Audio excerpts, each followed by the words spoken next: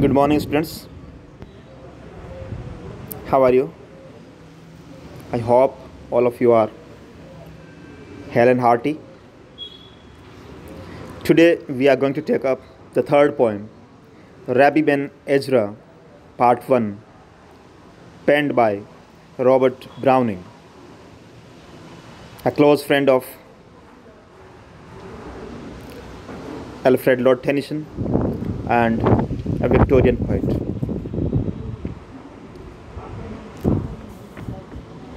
Let's first off discuss about the poet who Browning was and what were his achievements or the works in the domain of English literature. Robert Browning,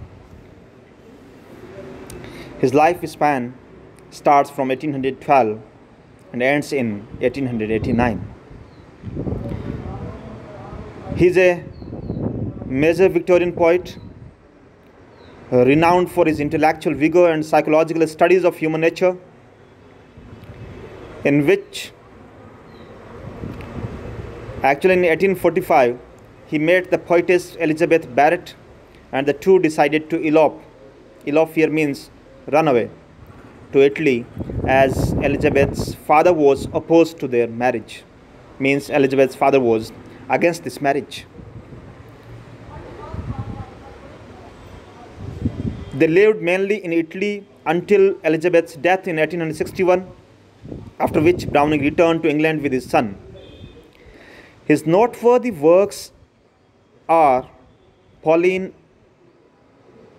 in 1833, dramatic lyrics in 1892, dramatic romances in 1845, Men and Women in 1855, Dramatis Personae in 1864, and The Ring and the Book in 1868 and 9. Robert Browning was a tremendous influence on the poets of the 20th century, such as Ezra Pound, T.S. Eliot, and Robert Frost, due to his technique of creating psychological portraits through poetry. His poetry may be called the poetry of soul because Browning's aim was soul dissection.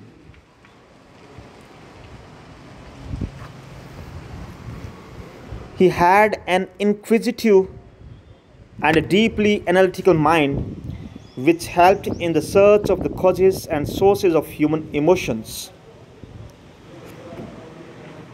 An important trait of his poetry is the note of optimism, which springs out of his faith in religion and realistic appraisal of the success and failure.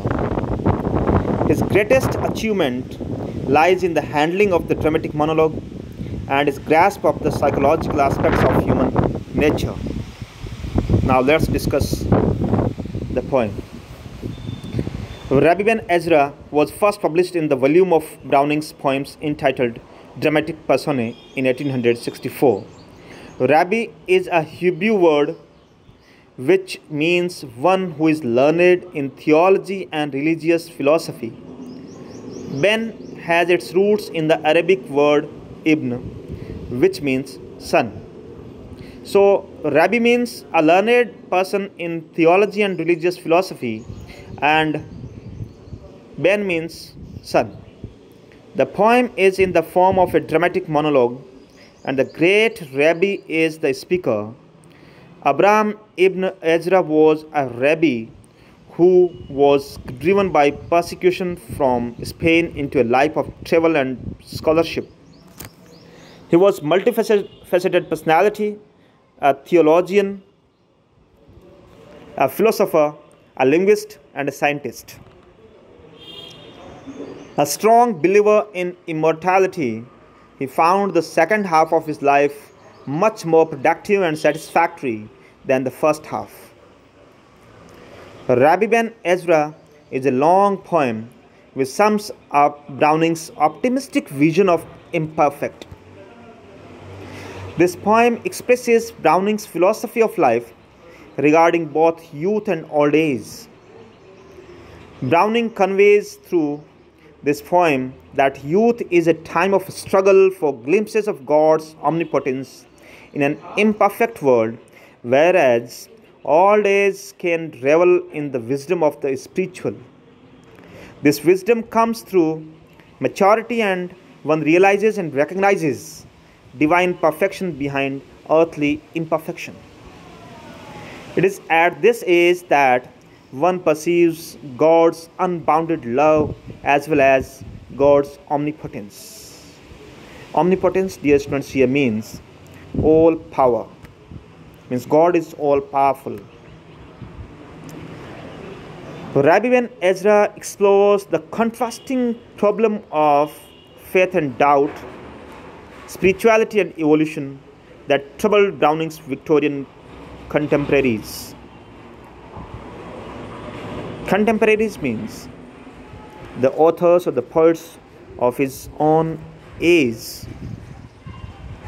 In particular, the speaker's rejection of low pleasures of life in the human quest for true happiness projects Browning's dismissal of the hedonism in Edward Fitzgerald's The Rubaiyat of Omar Khayyam in 1859. Now, let's take up the text itself.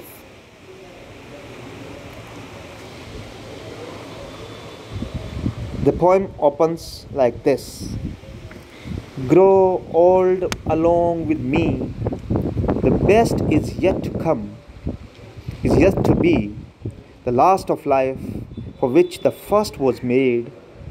Our times are in his hand. Who saith, A whole I planned? Youth shows but half. Trust God, see all, nor be afraid. Dear students, these beautiful lines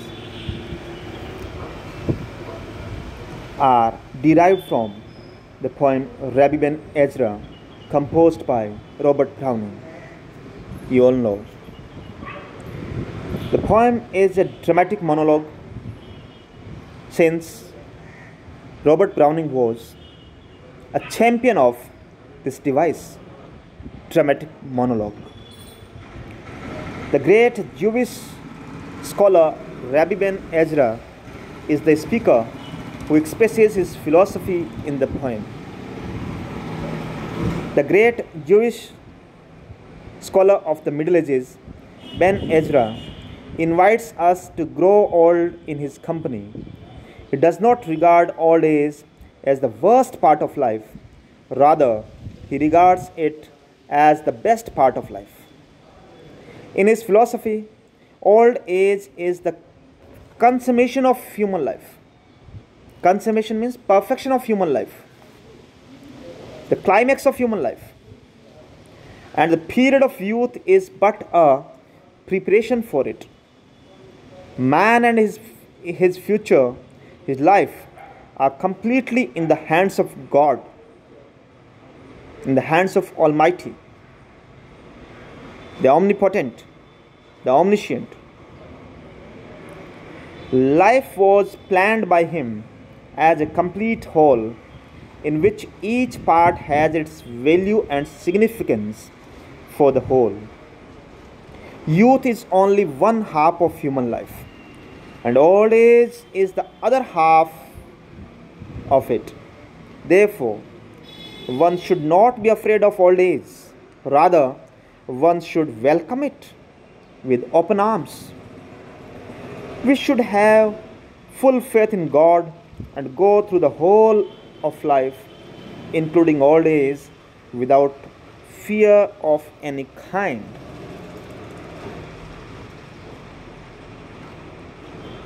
Simply because old age gives us experience of life. We become more wise, more cool, more judgmental also. Because we go through all the ups and downs of life. Whereas on the other part, a youth is a novice one, inexperienced, inexperienced one. because he or she has started the life, the journey of life. The entire journey of life that needs to be covered by crossing all the thrills, all the ups and downs, all the thresholds, all the challenges and difficulties in life, all the barriers, all the obstacles. So, old age is, I think, richer, more profitable, fruitful, and of course, inspirational. Here, I would like to suggest you, dear students, we should never ignore the suggestions or the pieces of advice given to us by our parents, by our elders, by our teachers, by our mentors. Simply because they have gone through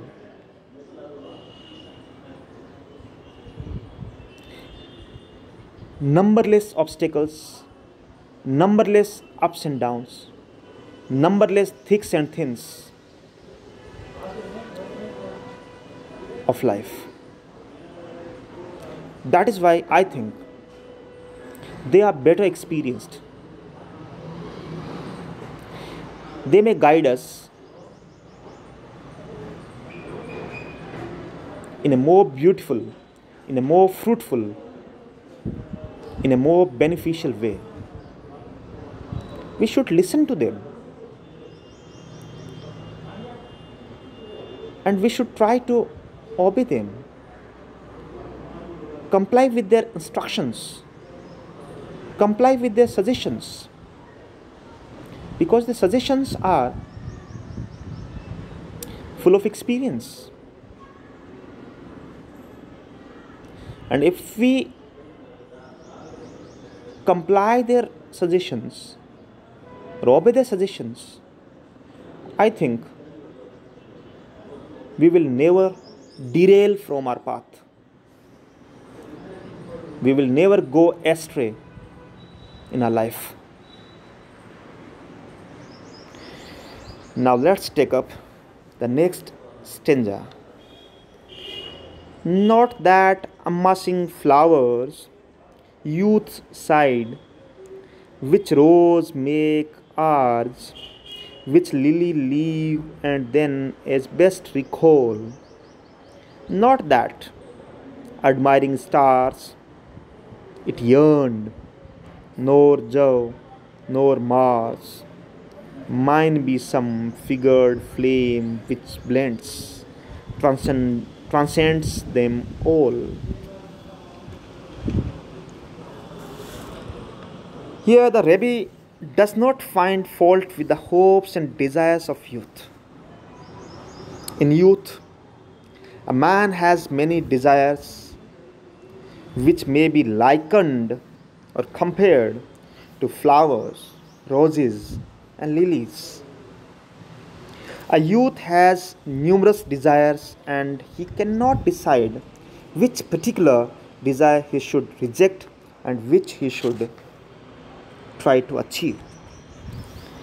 Like a lady with too full a store of fine dresses, he rejects one desire as worthless, but later on remembers it and sighs for it means regrets for it.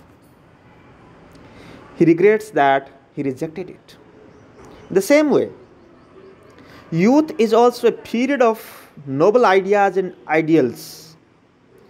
A young man is not satisfied with the real and the actual, but aspires much higher, much higher, demands much more. The desires are seamless, limitless, unbounded. Youth is more ambitious. and of course unrealistic too. These high ideals of youth may be compared to stars. Such bright stars as Jove and Mars do not satisfy him. He yearns for stars. Yearns here means desires or longs for stars which could combine the glory and beauty of all stars and would be more splendid and brilliant than any known stars. However, such noble aspirations and ideals are natural to youth, and the rabbi sees no harm in them. Dear students, it's quite true. If we talk practically with regard to your age, now, of course, if I ask you, you are also full of desires, aspirations, and ambitions. And your ambitions may be sometimes unrealistic or may appear to be unrealistic, rather to say. You are full of energy, enthusiasm, zeal, and dynamicism. And of course, it's quite natural to you. You aspire, you aspire for more and more and more, desire for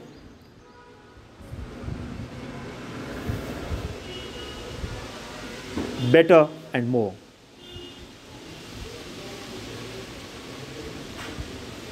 I think we should. But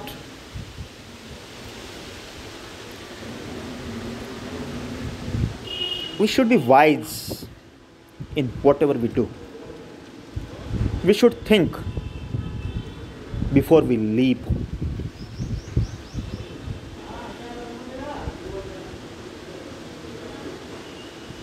Hindi में भी कहते हैं, जोश में होश नहीं खोना चाहिए।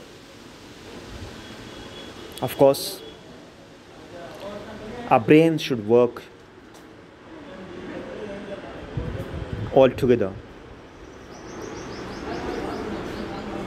of course move forward Be ambitious, but never be over ambitious. Because over ambitious is quite fatal, dangerous, as we see in Duncan's murder by Macbeth. Macbeth became overambitious and he murdered Duncan. And that was detrimental for him. Detrimental means fatal, dangerous, life taking. That's all for today and have a nice day. Thank you.